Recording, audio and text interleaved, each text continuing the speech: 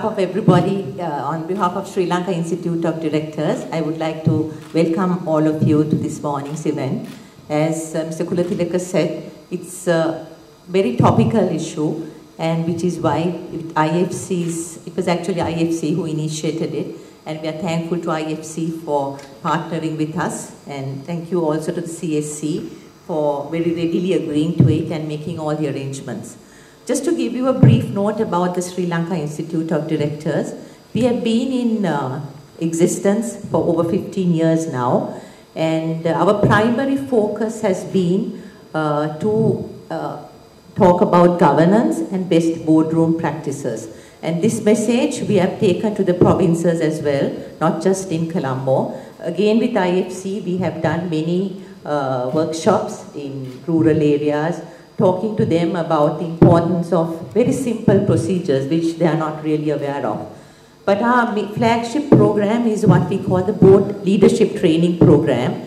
Uh, we are on our third uh, intake right now and it, it's extremely useful and the people who have participated have very, very positive remarks about it and it's been very well received. So for those people whom I have heard complaining about there are no women to put on, put on our boards, I would suggest you please send them to this program, your senior women, and then once they are trained, they definitely become very capable people. Rather than looking at your own little circle of people you know and people whom you're familiar with, there's a vast array of people outside. So please, I urge the directors and other chairmen of companies to use this pool.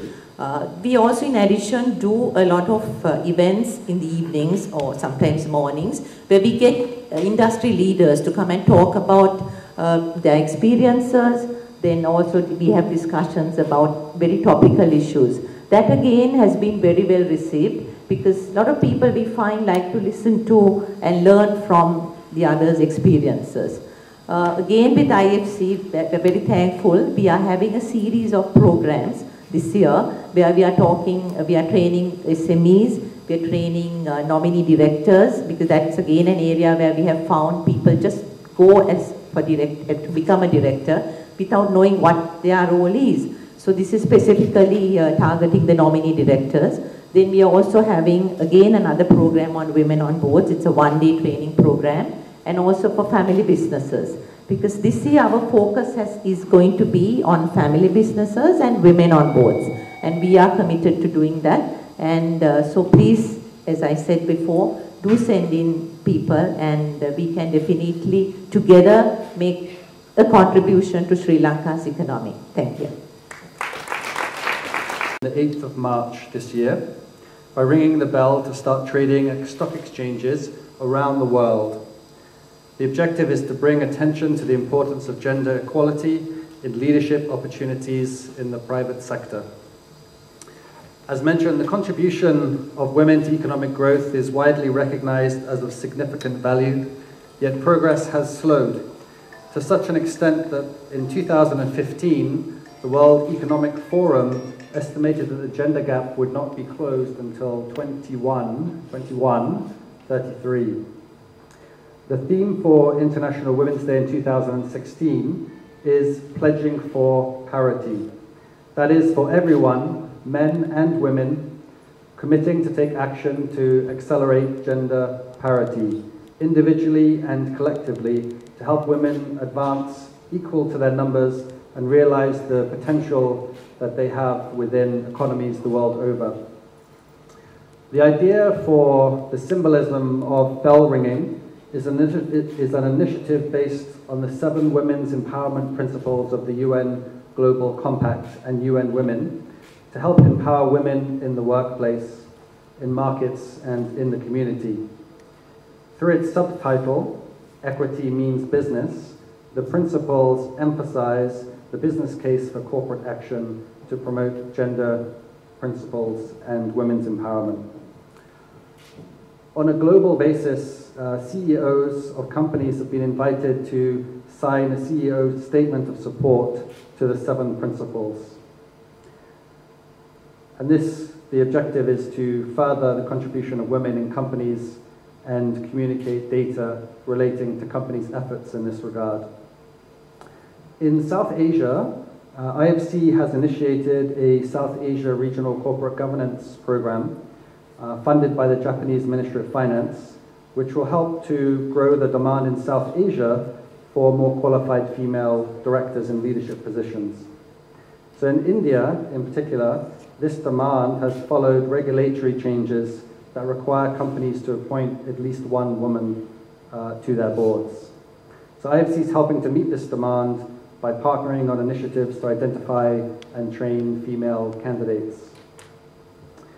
In Sri Lanka, IFC, uh, as Shrimal has mentioned, is partnering with the Sri Lanka Institute of Directors to conduct workshops on corporate governance issues with a focus on uh, effective board leadership skills. Thank you.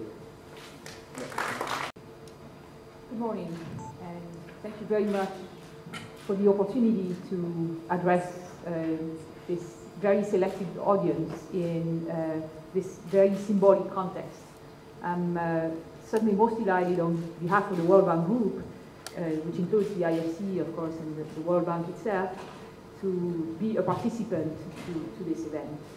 Uh, there are so many dimensions to the gender gaps that countries are encountering, and not just countries that are middle income countries or developing countries, but also developed countries, in fact, and particularly in the corporate world. It's a particular challenge in the country I come from, France, particularly when it comes to boards of directors, uh, that uh, when we look at the issue of gender gap in general, a lot, of course, could be said.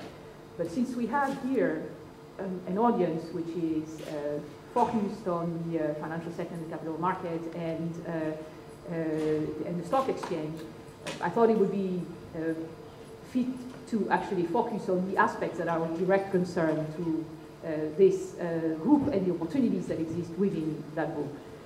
Some people might ask at the onset, what, what is really the link between you know, the stock exchange globally and the contribution to gender equality? It may not be obvious to everyone, including people with very good intentions when it comes to the, gender gap. Well, actually, uh, stock exchange globally are actually critically positioned to make valuable contribution to greater gender equality. And uh, that's what I would like to talk about. They can take action under what uh, is the principle six of the women's empowerment principle promoted by the UN, which is to promote equality through community initi initiatives and advocacy. This is a community, and there's space for a lot of advocacy to bring change forward. As key capital market participants, stock exchanges can lead the efforts to not only increase the number of women on boards of directors, but also to enhance the capacity of female directors to participate effectively in the good go governance of companies and to encourage the empowerment of the same. To cultivate new ideas in today's world of innovation, where the business itself is changing fast and the conditions of competitiveness are changing fast, the boards require a diversity of thinking from directors they require directors who break the mold of uh, what a director is expected to be in many ways. That's what innovation is about, right? They not only require multi-gender, but they require multinational thinking. They require multi-ethnic thinking. They require difference. They thrive on difference. They don't thrive on similarities. But to achieve this also requires debunking a little bit the myths about boardroom diversity especially the myths concerning gender diversity that have become so widespread in recent years, in part because of the proactive efforts to change the mix, um, which can um, have unwanted implications or backfire depending on how you do it. So, um, so how to do that better? And you know, let's let's observe a little bit uh, the facts first. Uh, uh, there are several pieces of very serious research at this point that show that companies with a higher percentage of women on their boards have fewer governance-related controversies. And at the same time, have higher environmental, social, and risk management ratings and strategies. These benefits contribute to increased investor confidence and better valuation. These benefits mean better business. So this is not a call for equity. This is not, or not just a call for equity. This is not a call for you know, justice across the group of contributors. It is also a goal for business efficiency. It is an asset. Um, it is a talent you want to enroll for business success into your boards. And that really is the main idea here. This is a very important finding. It means that we need more effective policy making concerning boardroom gender diversity all over the world, certainly not just in Sri Lanka. Female directors may be very different from male directors, and they may bring different perspectives to the board as a result. That's the asset. That's what we're seeking to enlist. But of course, to add value, it is important to have a good match as well, a good match between the director and the board, uh, a good match in terms of communication uh, reach, a good match in terms of influence capacity. So uh, these women to be effective, who bring those talents to the board, to be effective, have to be empowered with the right board skills uh, and the right communication skills, and uh, maybe the extra bit of um, assertiveness and uh, uh, capacity to reach out for influence that sometimes they haven't been trained in the earlier part of their career to display. So this is a very important uh, learning for them as well, even if they have what is wanted and what, what it takes. Yeah? So just being different is not enough in itself. You have to be heard in your difference and you have to be effective in conveying your difference. So for women directors to add value, they must also bring more than just that different perspective. The boards should be willing and ready to use their skills, and they have to have the relevant skills and the clear voice uh, in other words, the capacity to influence, which is obviously where you know, acquiring the standard skill of board participation, as encouraged by Sid, is, is essential to women particularly because they are less likely to have had some of that in the prior layers of their career. So how can we help them? How can we, how can we do more to make sure that we get to this desirable outcome?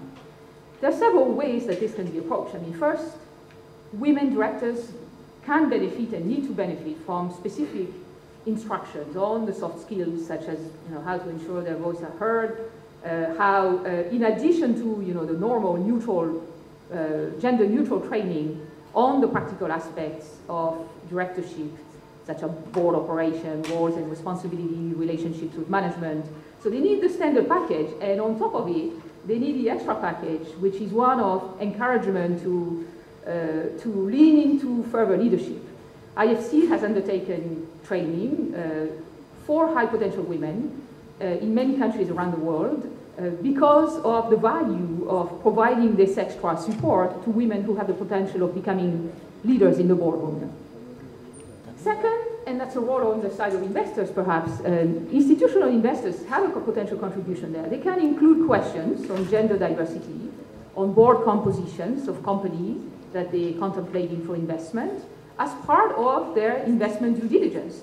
And if the findings of research that I was referring to earlier uh, are well established, it means it's not that they can, it's that they should. Because it, there is this positive correlation with, with better governance. So there's, there's, a, there's a benefit to that due diligence. And over time, that can make a difference.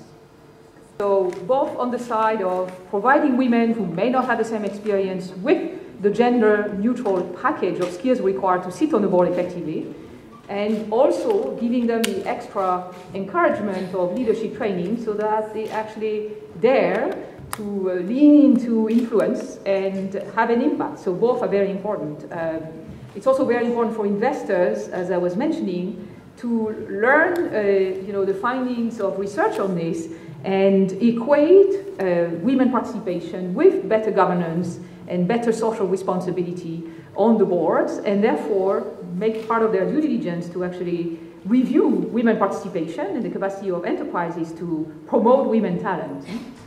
I was also reminding us that uh, IFC is actually doing a lot to try to encourage the emergence of uh, women leadership across the world alongside its operations. And uh, it's, uh, again, aligned with the findings of research, and it's a deliberate effort to tap into this, this, this talent uh, and uh, uh, these values. Yeah. Now, I would probably say to, to close this that there's, there's a note of caution against placing unreasonable expectations on women directors. Uh, and uh, maybe expecting that you know, corporate performance will improve simply because women are nominated on boards. It doesn't work that way. And it's very important to acknowledge that too so that uh, we don't actually uh, increase the odds of uh, developing the wrong perceptions here. I think it's actually very important to do that. We cannot expect women to fix the whole of society's problems by advocating for change just because they've been appoint, appointed to boards. Uh, the whole board is responsible to address issues of change. And the courage of bringing change forward is one that every board member shares. So I think it's an important point on expectations. But for each country, it's, it is important to gain a better understanding of the root causes of the problem in a particular country. And uh, they are sometimes broader than they appear to be. And to tackle these obstacles specifically, in conjunction with our policies, to make sure that we create a favorable environment for women to thrive and to help companies to thrive. Yeah? Uh, in some cases, it may not involve targeting uh, boards of company particularly. Uh, there are lots of gender issues that get in the way of women participation that are much broader, of course, than the ones that concern the board of directors.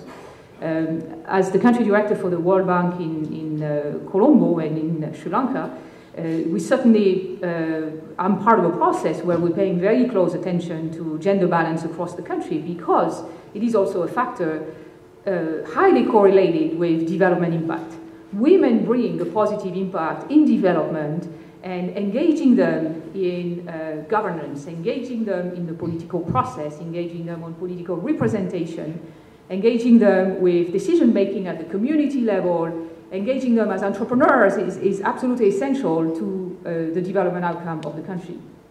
Some of the issues that we're encountering in Sri Lanka on gender, which are worthy of full attention, are for instance, the low level of women participation in the workforce.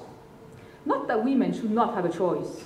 Of course, it's a very personal decision to join or not the workforce, and particularly when you have children at home. So this freedom should stay with women. But when a country like Sri Lanka, uh, which has better grades and school attainment of girls at the secondary level, uh, greater entrance of young women into university, higher education than men, better grades of the same in the university training, right, finds itself with a stable over 10 years rate of participation of women in the, in the labor force, sort of at, the, at an appearance ceiling of 35%, it has to be too low somewhere. And certainly by international standards, it is too low, right? It actually means that we're losing a lot of available talent to the marketplace at a time where, in many ways, there's a drying up of the labor market for skilled labor.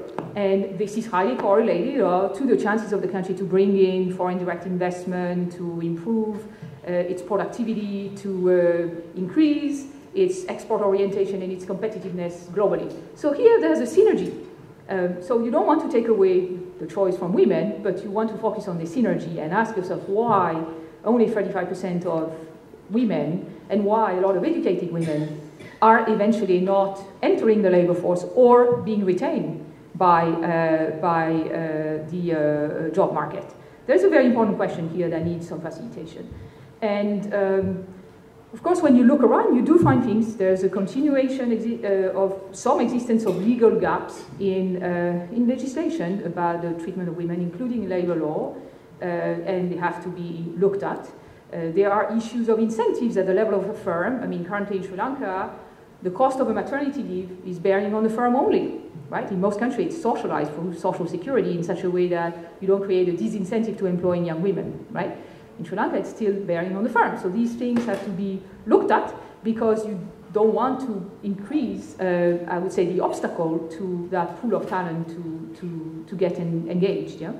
There are also a lot of practical issues that women, and particularly young mothers, face in joining the labor force and it goes from availability of childcare, especially for young children, which is still very limited. The World Bank is actually, you know, investing with the government in early childhood development facilities currently because it's a very important point for, for women. So some of them are practical issues having to do with childcare. Some of the issues uh, which we may have less information about are also inhibitors of women participation. They may have to do with safety in transports. They may have to do with you know, schedule and uh, lighting of streets and all the things that are great facilitators of women capacity to uh, have the safe mobility required to join the marketplace. So all these things have to be looked at. Uh, they all are on a different scale. A lot of them won't be activated from the Colombo Stock Exchange, evidently, but they are all linked in a way in the capacity of society to uh, make full use of the talent of uh, women. So these issues have to be addressed one by one. The stock exchange community has its own um, uh, responsibility and its opportunities to influence this outcome at what is the highest and the most visible level. And uh, I think the opportunities are very high for doing this. The trends are good and the talent is there. So uh, let me, in closing this, let me join uh, my, my um, appreciation again for the invitation and my encouragement to the whole community to make full use of this uh, plentiful talent. Thank you very much. Um, before I start, apologies from Radhika for being unable to be here today. Um, the area of gender empowerment has always been of great concern to her, and she, uh, before she was uh, the special representative on children and armed conflict, was for many years the special rap, UN special rapporteur on uh, violence against women. So I'm here as her substitute, and in fact, I'm very glad to be the last speaker here because Madame Clottes, you have helped me, uh, you have touched on most of the issues that I would have thought I would have to talk about in terms of gender empowerment within the boardroom. Um, so I won't talk too much on that. Um, let me start by saying uh, I'm very happy to be here as part of this initiative of the, the joint collaboration between the Sri Lanka Institute of Directors and the Colombo Stock Exchange today. Uh, the Sri Lanka Institute of Directors, I believe your mandate is mainly uh, encouraging better corporate governance through uh, encouraging better leadership skills within uh, the corporate sector. Hmm. And of course, taking your message outside of the very narrow confines of the uh, leading corporate corporations, I suppose we should say, in Colombo, into the regions. Uh, so you're creating two different types of leadership skills, one in merely and mainly in encouraging regional participation in the workforce. Now, going to today's topic on gender equality, I suppose um, for me personally, it's a matter of great shock and concern, um, given that we are such a highly women-driven economy. Uh, women, after all, form the bulk of our workforce that earn our foreign exchange for us. Um, they are the bulk of our plantation sector, our garment sector, and our migrant worker sector. Um, the lack of translation of this participation uh, into the higher structures of the corporate sector is uh, frankly quite shocking for me. Uh, I'm not sure if uh, many of you are aware of this, but the corporate sector lags even behind the political governance process in terms of leadership among women. Um, in a country where over the last few years, a large number of women have begun to be appointed to our Supreme Court, our public service is being, the leadership is being dominated by women, and the academia is almost all over Sri Lanka, completely dominated by women. It's a matter, it should be a matter of great concern that the corporate sector lags so far behind. Given, as Madame Clottes said, there's absolutely no block to women participating in this sector and moving upwards. We contribute to our, our, economy in a way that men don't seem to do. Um, and on top of it, we are better educated, we are more competitive in universities, we graduate at a higher level every year for the last 15 years. Our age of marriage is much higher than our counterpart countries in the region, and, so, and in fact in some countries in Europe. So there's nothing to hold us back from moving into the leadership of the corporate sector too. I uh, come from a small law firm, 75% to 80% of my uh, income earning earners in my law firm are women. Many of them are mothers, some of them are daughters, some of them are grandmothers, and they have multiple responsibilities and they work very hard. And my firm is very successful. So I don't understand what, where the block actually lies. Now, to get back to the initial question, I suppose one of the issues that you do need to deal with, and I see that Sri Lanka, the SLID's work on uh, regional consultations and uh, meetings would help with this, is to actually look at the migrant worker sector and see where are these women? Why are they not uh, forming the bulk of our investor sector? Why are they not forming the bulk of our entrepreneurial sector in the regions where they come from? And I'm hoping that you'll be able to work with the Chambers of Commerce on that. Um, similarly, then if we were to come back into the boardrooms, uh, I think it's time for us to really recognize that the old boys network has to end. And so the Sri Lanka Institute uh, of Directors program on uh, training, on boardroom training, I believe it's called, would be of great value, not because women are actually not capable of being good uh, members of their boards already, but perhaps this uh, little title of I've completed this program might help us in getting to those boards, getting onto those boards. Thank you very much. Congratulations for this initiative, and I look forward to the results.